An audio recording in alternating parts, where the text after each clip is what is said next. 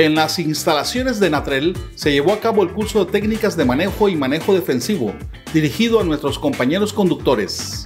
El curso es eh, técnicas de manejo y manejo defensivo. Estamos viendo cuatro temas fundamentales, lo que es la seguridad activa y pasiva, es decir, elementos del tránsito.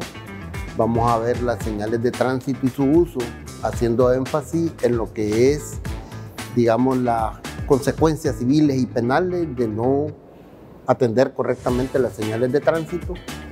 Vamos a ver eh, técnicas de manejo y manejo defensivo y vamos a ver normas de circulación en la vía. Es muy importante que la empresa esté cuidando parte de sus principales activos, digo yo, porque son los que mueven a todo el país, a todo el personal, a todos los técnicos, a todos los ingenieros, en función de mantener pues, los logros de nuestra revolución, en función de mantener el avance de nuestra energía eléctrica en todo el país.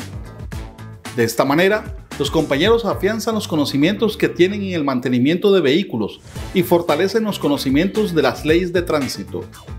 Es un curso que nos va a venir a ayudar a, a ser mejores conductores, tanto como en la vida diaria pues, que convivimos en la sociedad, para ser más, más cortesía en las calles. Como nosotros desde que llegamos a nuestra empresa laboral, eh, tenemos que desde el vehículo ser responsable, chequearlo, ver sus frenos, sus niveles de aceite, de agua. Desde ahí tenemos que ser responsables porque sabemos que llevamos personal. Eh, el gobierno por medio de las autoridades y en ATREL, preocupado ante el alto índice de accidentes que hay, entonces tratando de, hacernos ver dónde es que se da más los accidentes para tratar de evitarlo por medio de un manejo defensivo ¿ya? y eh, accediendo a todas las la leyes de tránsito y los señalamientos viales en las vías. Participaron 16 conductores de diferentes áreas de la empresa.